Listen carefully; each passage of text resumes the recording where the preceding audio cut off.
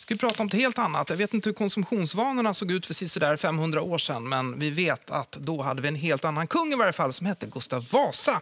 Och eh, Gustav Vasa beskrivs här nu i en ny bok som Olle Larsson har skrivit som heter En furste bland furstar.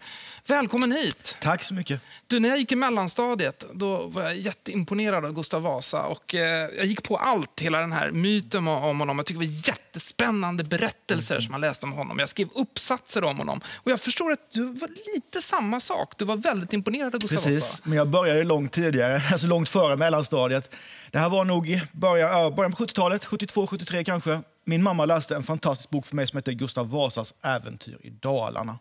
Och här fick man då läsa om det här klassiska, hur han eh, är utsatt för ständiga faror, jagad av danska knektar, hur han kommer undan. Han flyr onda genom ett danska knektar. Ja, onda ja. danska knektar. Han flyr genom ett dass, han gömmer sig i ett hölass, danskarna sticker in spjut, det blir blodspår i snön, den rådige bonden skär sin häst i hoven så att danskarna ska få tro att det är hästen som blöder. Och han försöker övertyga eh, dalkarlarna om att man ska göra uppror mot Kristian. Ingen vill lyssna på honom. Han ger sig av, man ändrar sig. Man skickar iväg två skidlöpare, man får dem att komma tillbaka, man gör dem till Dalarnas hövitsman och där på någonstans börjar Och där har du ju hela boken egentligen. Boken Ungefär om så, Gustav Vasa ja, skulle man kunna säga. Eller den bild som vi kanske många, ja. många har av eh, just Gustav Vasa. Men hur mycket av det här då? Vi, vi kan, kan, vi inte bara börja med alla de här sakerna som du radar upp här? Stämmer något av det här? Låg han i det där hölasset? Alltså vi har, det vi har är egentligen, vi vet om Gustav Vasas barn och ungdomstid egentligen, alltså fram till att han blir kung egentligen. Då har vi hans krönikör Peder Svart. Och Det finns lite olika uppfattningar om alltså hur pass självständig är Peder Svart i relation till Gustav Vasa.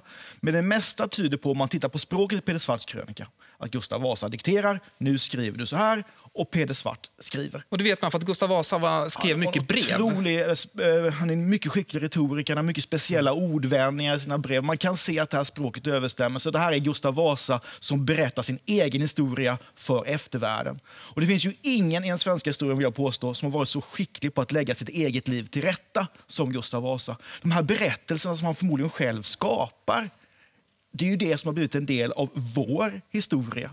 Och just det här med att han har förmodligen varit i Dalarna. Det finns mycket i Peder Svarts krönika, den är väldigt detaljerad med alltså lokalkännedom. Som det här är skrivet av en man, eller berättat av någon som har varit där.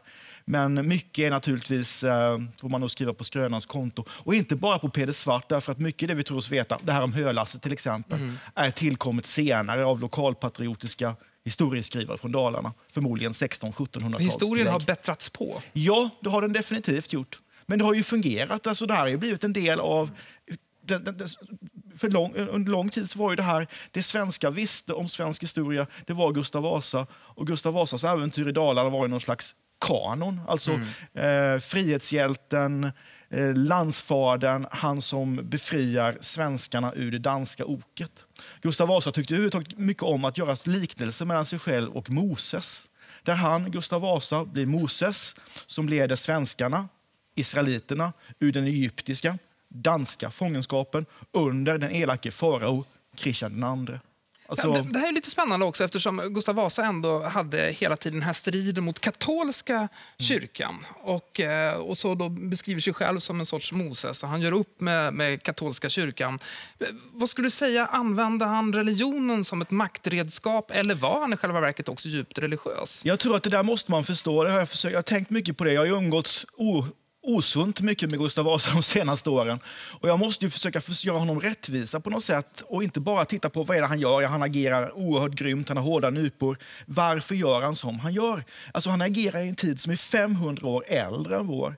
Du och jag vi kan skilja på och säga att det här är politik, det här är religion, det här är ekonomi. Så var det inte på 1500-talet. Han lever i en religiös kultur, han är djupt troende och han är mycket mån om återigen med Peter Svarts krönika, att inte säga att reformationen det var för att jag vill komma åt kyrkans pengar och jag vill bryta eh, den katolska kyrkans makt.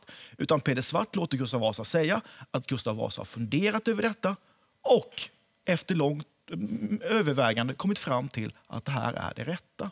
Och Jag tror man måste förstå det här att Gustav Vasa lever i en tid där religionen spelar en så oerhört stor roll, att den impregnerar allt i hela samhället. Och att han lever i en tid där våldet också är mycket mer närvarande. Närvarande på ett sätt som inte vi kan föreställa oss.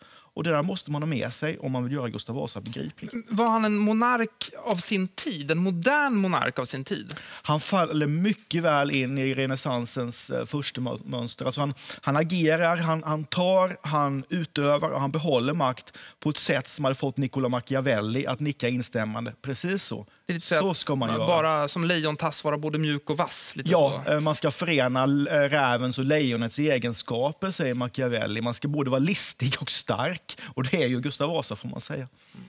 Om, om vi ser idag, då, finns det någonting av det, det samhälle som Gustav Vasa var med och skapade som vi fortfarande lever med idag, sådär ja, 500 år efteråt? Jag tycker man kan måla upp hans liv i kontraster. Gustav Vasa föds eh, i maj 1496. Han dör 1560.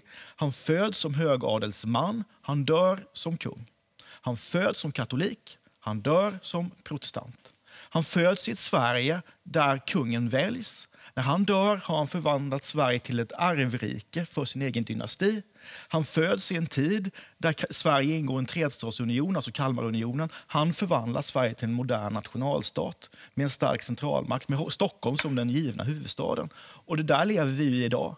Dessutom så skapar han, lägger han grunden för den här politiska kulturen vi har idag. Vi har ju knappt inte haft några stora uppror i Sverige, förutom under Gustav Vasa, med undantag för ett uppror i Finland på 1590-talet. Och varför? Jo, därför att kungen, på grund av de uppror som han drabbas av, inser att det, det, han, man ska skapa kanaler där man förhandlar. Styrande och styrande förhandlar och man möts och man kompromissar. Så där någonstans under Gustav Vasas regeringstid, säg andra halvan av, jag säger från 1540-talet och framåt, mm. där lägger vi grunden till den svenska modellen. En sak som jag funderat över, då, Gustav Vasa som ändå har beskrivits som den här personen som byggde vår nationalstat, eh, ett geni eller mm. i varje fall en, en duktig maktspelare. Mm. Eh, och, och då blir han, då, han skapar en dynasti, mm. det vill säga att kronan ska ärvas, Erik den XIV efter honom.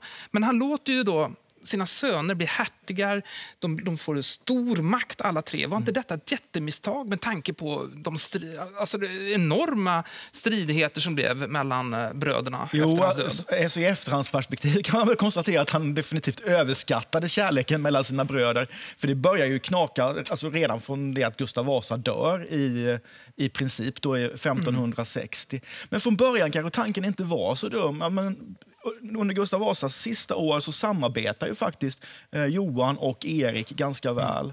Mm. Erik lovar att stödja Johans anspråk. Alltså han, han har ju utrikespolitiska intressen i Baltikum, där den tyska ordensstaten håller på att falla sönder. Och å andra sidan så ska Johan hjälpa Erik att fria till den engelska drottningen Elisabet. Just Också sådär. bakom ryggen på... Ja. ja det går sådär. Alltså, Han skickar dit porträtt och Elisabet tycker att Erik har väldigt snygga vader. Men det räcker du, liksom inte. Men det är en annan bok. en annan bok. du, eh, Olle Larsson, En första bland första heter den här boken. Mm. Jag har läst den och jag hade svårt att lägga den ifrån mig. Det här är så spännande. Vi skulle kunna prata hela programmet, men det ska vi inte göra. Nej. Det blir lite försmak. Tack snälla för att du kom hit. Tack så mycket. mycket